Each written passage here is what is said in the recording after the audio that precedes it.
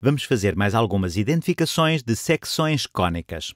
Se tivermos este problema, x ao quadrado mais y ao quadrado menos 2x mais 4y igual a 4, a primeira coisa que vamos fazer é tentar descobrir que tipo de secção cônica estamos a falar.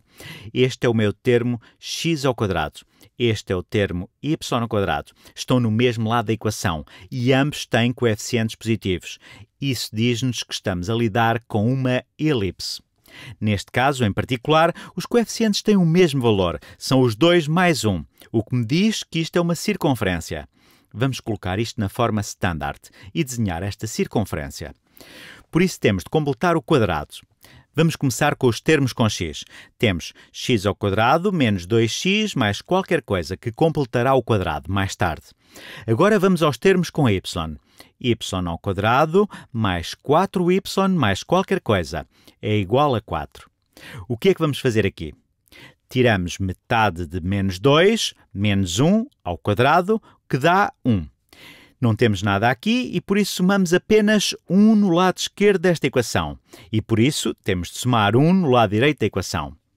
Aqui tiramos metade de 4, que é 2. 2 ao quadrado é 4. Ponho 4 aqui e por isso também tenho de somar 4 deste lado. Somamos apenas 4 porque não há nada aqui fora a multiplicar o 4.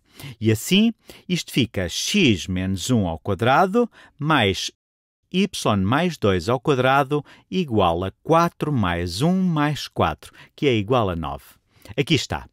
Colocamos isto na forma standard de uma circunferência. Lembrem-se que se uma circunferência tiver centro em zero, a forma standard será x ao quadrado mais y ao quadrado igual a r ao quadrado. Então, isto é, r ao quadrado é o raio ao quadrado, o que nos diz que o raio da circunferência é 3. A circunferência foi deslocada, ou seja, o seu centro, em vez de ser 0, 0, é 1 menos 2. A razão porque é 1 menos 2 tem a ver com os valores que fazem com que toda esta expressão seja igual a 0. Neste caso era a origem, neste caso será x igual a 1 o que faz com que esta expressão fique igual a zero, neste caso é y igual a zero e neste caso é igual a menos 2. Então, este é o nosso centro, este é o nosso raio e estamos prontos para desenhar esta circunferência. Deixem-me ver. Tenho de desenhar a circunferência primeiro. Isto está suficientemente bom. Vamos desenhar a circunferência primeiro. Então vai ser 1 menos 2. Então, 1 menos 2 vai ser aqui embaixo vai sair fora, esta circunferência vai começar aqui e o seu centro é em 1 menos 2, não está mal. O centro é aqui, temos de andar 1 e depois 1, 2, muito próximo do centro. Isto é o centro. O raio é 3, então esta distância aqui é 3, em qualquer direção. Aqui é 3 e aqui também é 3. Pronto, este problema foi bastante simples. De certa forma, as circunferências são as mais simples de resolver. Lembram-se de eu dizer que ia ser uma elipse, e vocês poderiam dizer: mas esta não é a forma standard de uma elipse. Por isso, só para reverem rapidamente, se dividirem ambos os lados da equação por 9, o que obtém? Obtém x menos 1 ao quadrado sobre 9, mais y mais 2 ao quadrado sobre 9 igual a 1. Assim, conseguem ver o eixo horizontal, ou o diâmetro horizontal, vai ser igual a 3, ou o eixo maior vai ser 3 e o eixo menor também vai ser 3. Os eixos desta elipse têm comprimentos iguais, porque na realidade trata-se de uma circunferência. Ok, vamos fazer mais um, para termos a certeza que vocês ficam bem nisto. Então, temos 2x ao quadrado mais y mais 12x mais 16 igual a zero. Vamos olhar para os termos x ao quadrado e y ao quadrado. Este é um termo em x ao quadrado, mas não temos nenhum termo em y ao quadrado. De certa forma, isto é um enigma.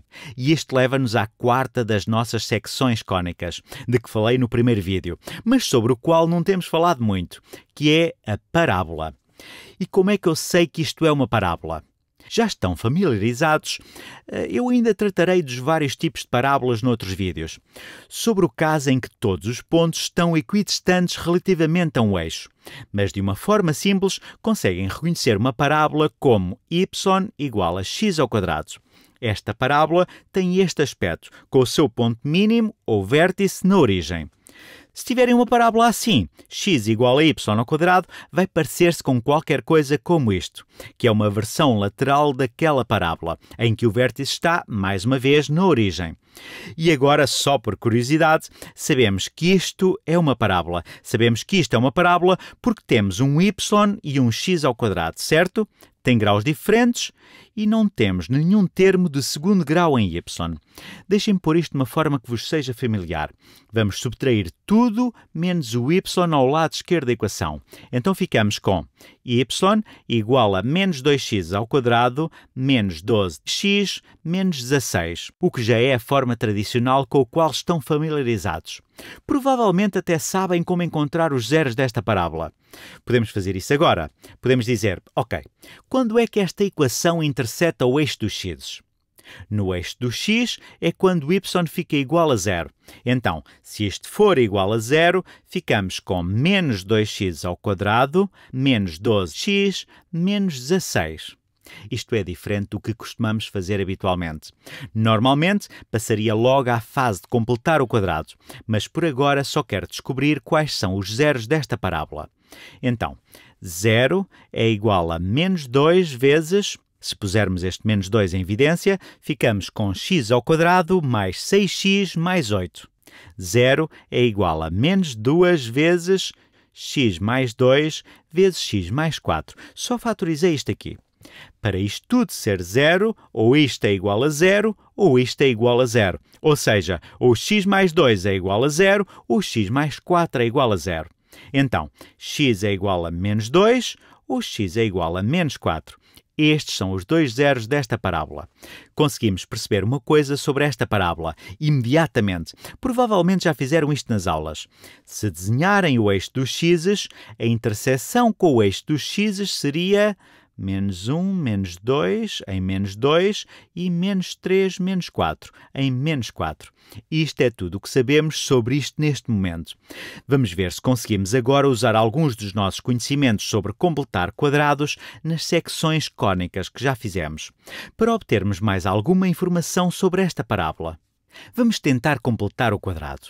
Vou reescrevê-lo aqui embaixo. Então, y é igual a é com este que estamos a lidar.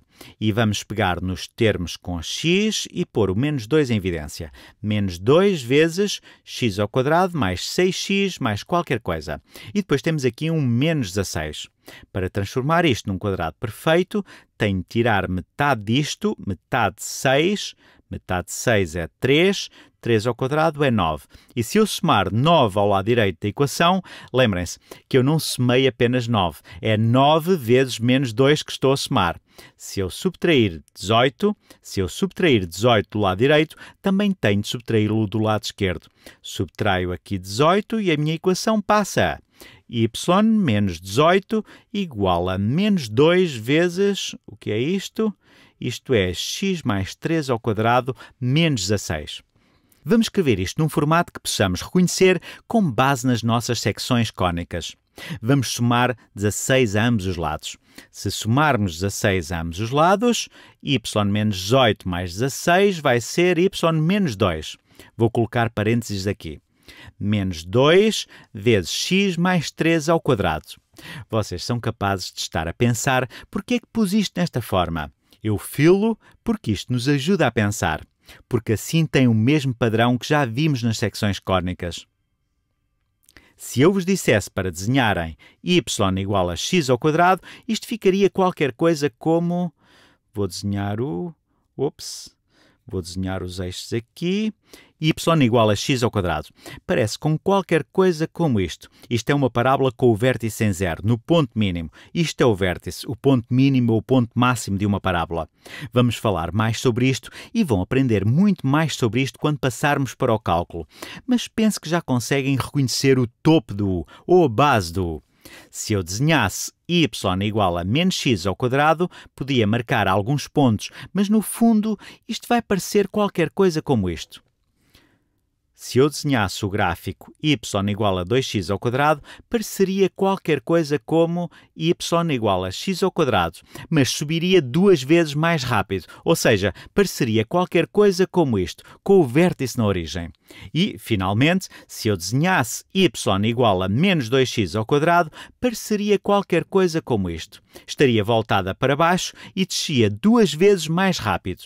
Isto aqui esta equação com que acabamos é semelhante a y igual a menos 2x ao quadrado, mas em vez do seu vértice, ou do seu centro, ou do seu ponto de partida, ou seja lá o que for que lhe queiram chamar, estar colocado na origem, está deslocado. Que valor de y torna este termo igual a zero? Bem, é y igual a 2. Neste caso, o valor seria zero aqui, porque estávamos na origem. E aqui, que valor de x torna este termo igual a zero? Bem, é x igual a menos 3.